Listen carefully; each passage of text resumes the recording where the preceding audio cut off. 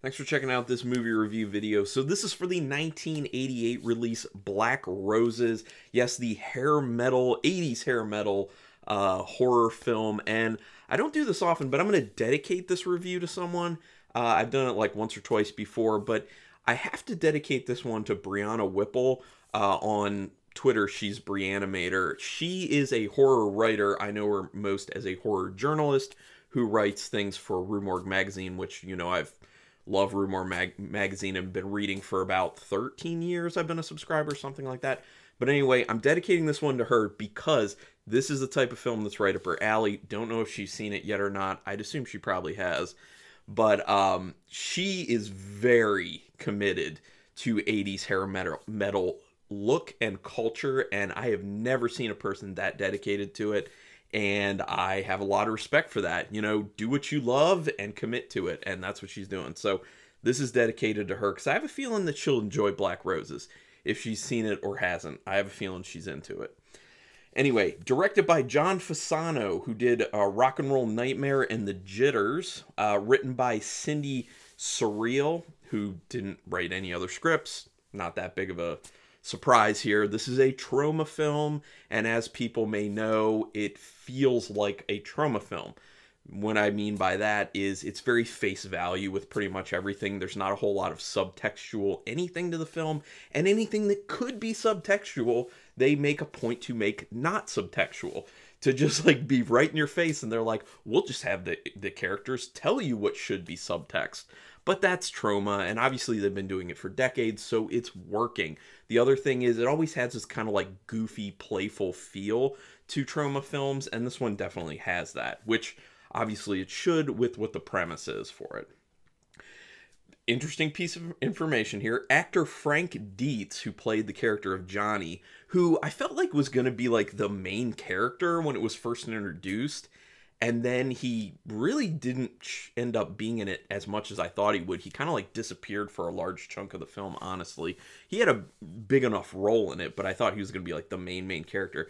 But anyway, actor Frank Dietz, who played Johnny, uh, was 46 when the film came out. Now, I'm sure people who've seen this can definitely tell that because uh, as a teenager in high school, he looked like he was 40, 40 something. I mean, look, I am 40 years old and he looked older than me.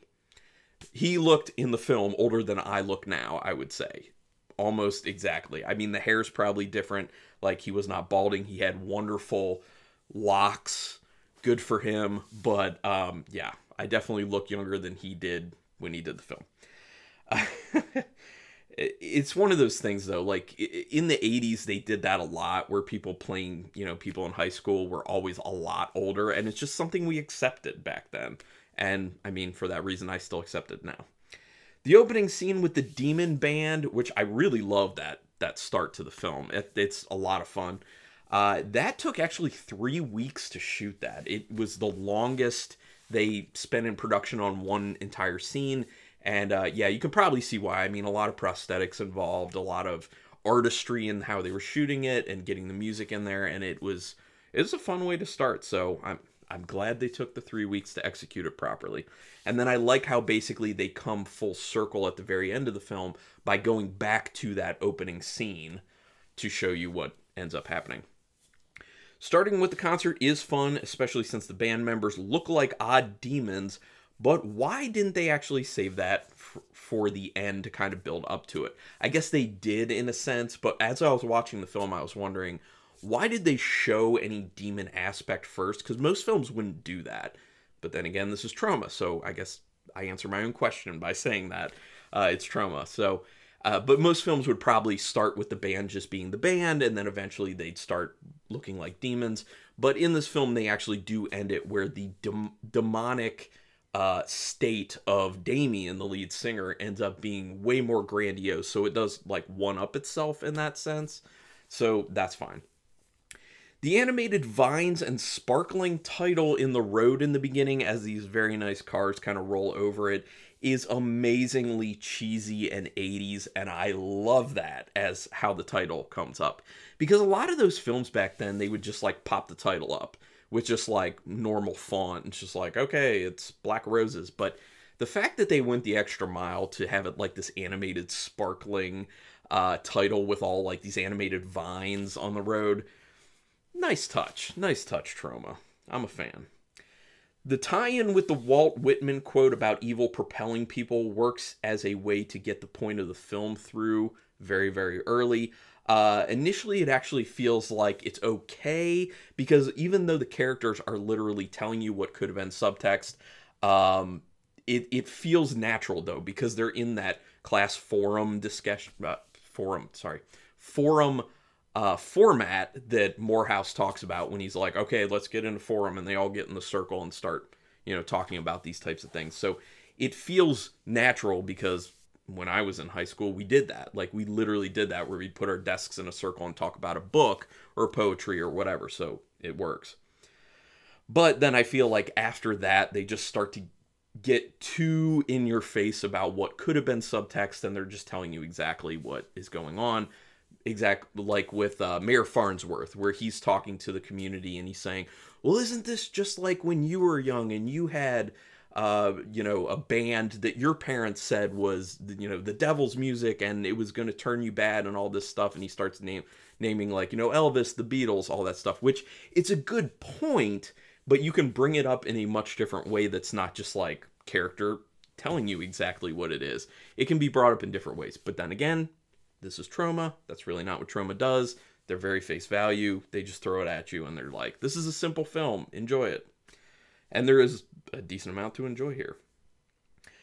Um, I do think that the use of the poetry of like Emerson and Whitman does make sense in this, and it is a little bit of a subtextual thing because their their writings are mainly about you know figuring out your place in life figuring out who you are as a human being so that's literally what's going on in the lives of teenagers at that point so it kind of embodies this bit of like the push and pull of them you know being involved with school and trying to be good kids and and be good students. But then they also just want to go out and have fun and go to this concert and be influenced by the bad things that this demon band is telling them. Although you know at that point it's not actually their choice because they're being controlled by demonic forces which is a great excuse for messing things up. Uh, what's morehouse doing just roaming around the town at night he seems like an extreme creeper now i don't know if they were trying to set that up as in he just got out of like that town hall meeting with mayor farnsworth and he just happened to be in the area and then he foiled Johnny's plot to literally paint the town red as he was going to do. Uh, but it just seemed weird that he was just out kind of like walking around when it's dark and there's like no one else on the streets. He seems like a real creeper. Now, he seems like even more of a creeper because he's actively stringing along Julie because he can tell at numerous times in the film that she has this uh, crush on him, and he does nothing to squash it until she's about to turn into an actual demon and try and kill him. Uh, and he just like strings her along, and it's it literally seems like he's trying to leave that on that option on the table for himself of like you know uh, I really shouldn't do this because she's a teenager, but uh, my libido says let's bone this. Uh, let's just leave the option on the table for now while I think this through some more. Like, that's literally how he seems as a character. So I know he's supposed to be like the hero, but for that reason, doesn't really feel like a hero to me. Not at all. But then again, that's fine, because it's a Troma film. there's literally a part where Johnny is talking and there's no audio. This is when they're going to start their second forum discussion in school with Morehouse and Johnny starts talking and there's no audio. Like his lips are moving and there's nothing and then finally it cuts in. Good job. Obviously, it's a ruse when the Black Roses dress in white and end up playing ballads at the school. That's obviously a show that they're just putting on for the parents and the mayor and everyone to be like, look, our music is totally fine. Let us play in your community, which I don't understand. Like, I guess Morehouse questions it at one point, like, why would you be here playing these concerts? And they're just like, oh, well, we want to use this as kind of like a test run. Like, can we catch on other places? And this is like a microcosm for how our career can be. And then we'll leave the town if everything's good, which they do in the end. And that's after, you know, they cause all that havoc and people think they killed them, but they didn't. But, um, yeah, it's, mm, it's something.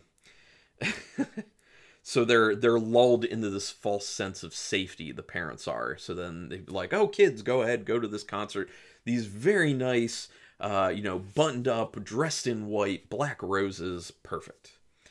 You see the influence of black roses in the students immediately after the concert. There's no there's no lapse in time. There's no kind of like gradual anything. It's immediate.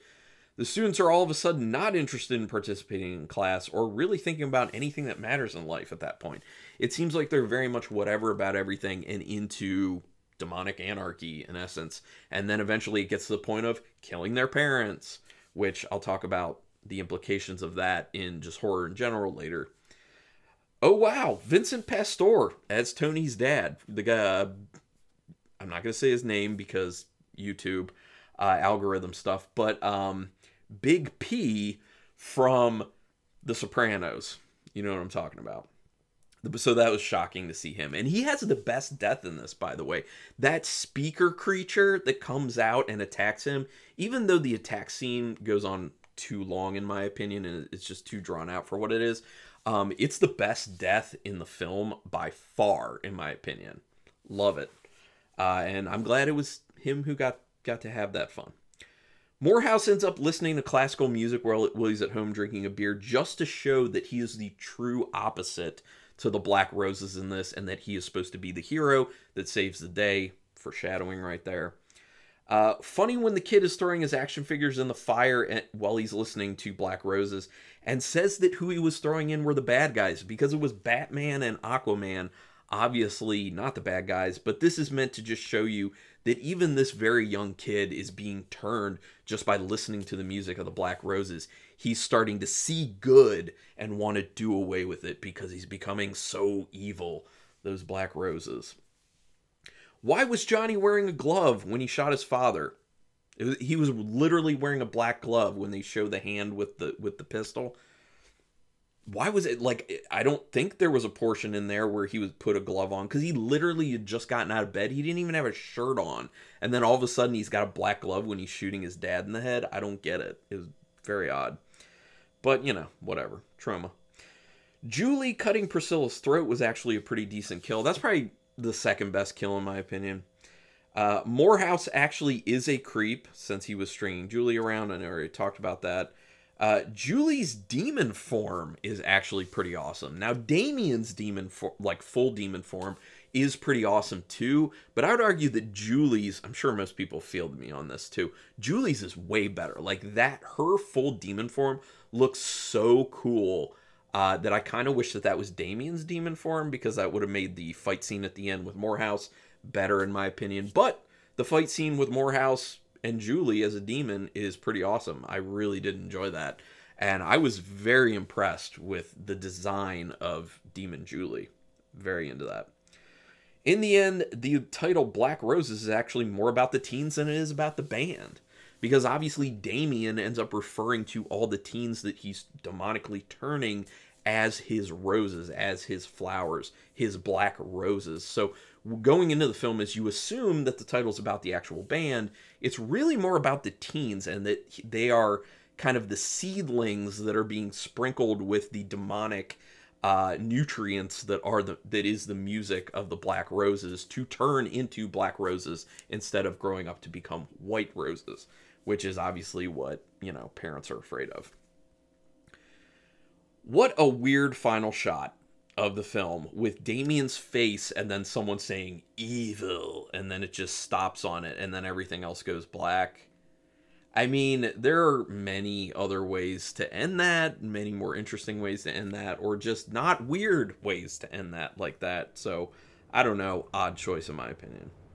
The awful, corny nature of the soundtrack in this film really stands out as being particularly bad because it stands in contrast to that initial song the hair metal song in the very beginning that is fun and there are other hair metal songs throughout the film so thank goodness the one in the intro wasn't the only one because that's the best music.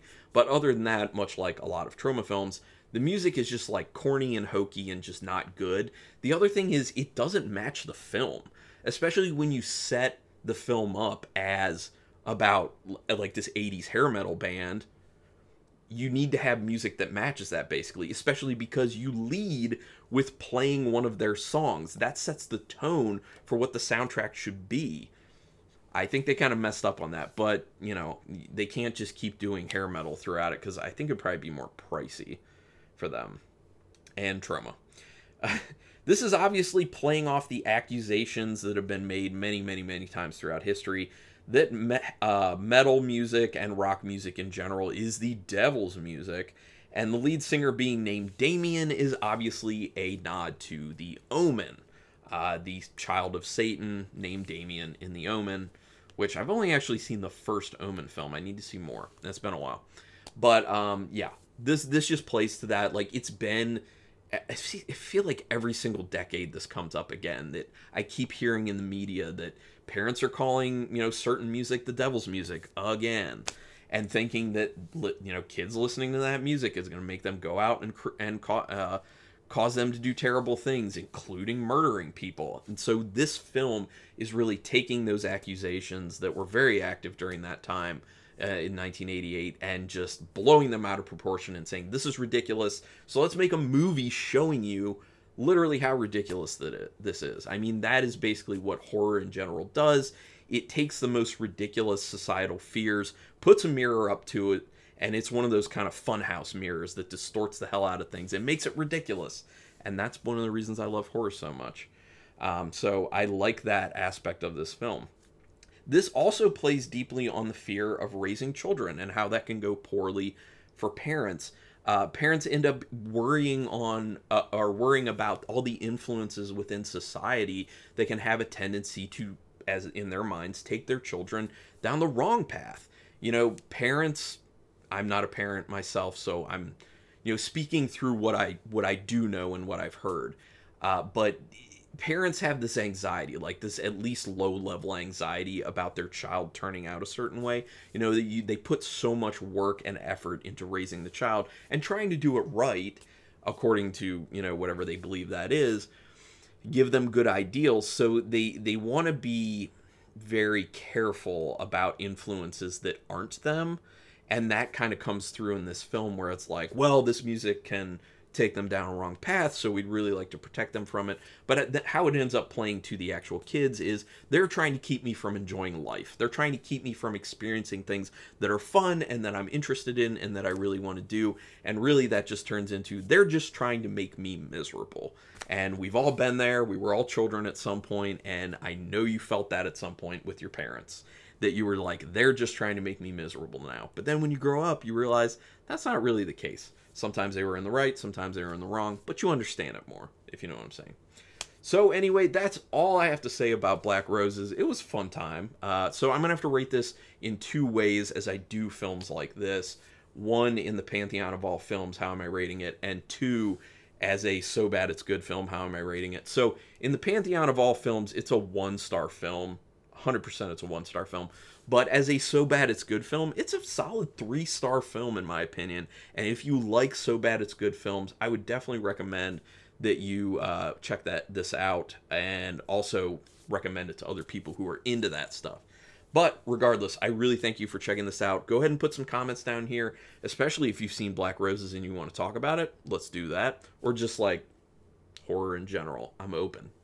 Uh, but do me a quick favor and hit that subscribe button. If you can do that for me, I would greatly appreciate it. It literally takes you a second. It is very painless. It costs you nothing, and I appreciate it greatly. I really honestly do.